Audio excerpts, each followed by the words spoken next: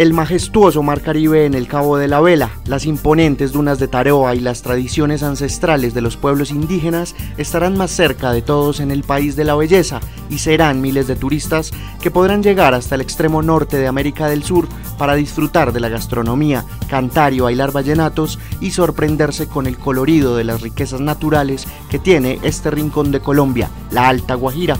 El gobierno del cambio bajo el liderazgo de la Aeronáutica Civil, avanza en la planeación de lo que será una nueva terminal aérea de La Guajira, que estará ubicada en el corregimiento de Bahía Honda, acercando a colombianos y extranjeros a un paraíso lleno de fauna exótica, con decenas de actividades para disfrutar del mar y los desiertos y contribuir con la economía popular de miles de habitantes, quienes con sus manos elaboran artesanías de exportación.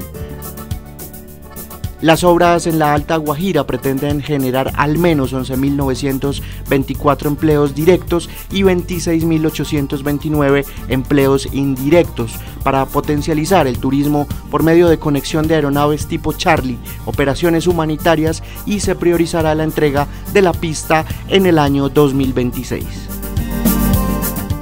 Este aeropuerto, cuya construcción iniciará a finales de 2024, tendrá inversiones de por lo menos 542 mil millones de pesos y ya avanza la suscripción de los convenios que pronto estarán listos para dar paso a una de las obras de conexión aérea más importantes para esta región y para el país.